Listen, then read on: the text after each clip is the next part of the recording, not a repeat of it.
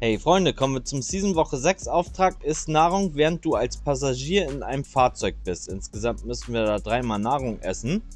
Ich empfehle euch, besorgt euch einfach einen Wagen. In meinem Fall besorge ich mir den jetzt hier von der Tankstelle. Woher ihr den bekommt, ist total egal. Danach begebt ihr euch hier am besten zu Francing Fields, denn dort haben wir die Flowberry Felder. So, jetzt holen wir uns hier einfach die Flowberries. Drei Stück brauchen wir insgesamt. Zack, nehmen wir noch eine als Reserve mit. So, wir geben uns jetzt hier einfach wieder ins Auto. So, fahren wir kurz einmal in Sicherheit. So, jetzt wechseln wir auf den Beifahrersitz, indem wir einfach den Stick reindrücken und hauen uns die Beeren rein.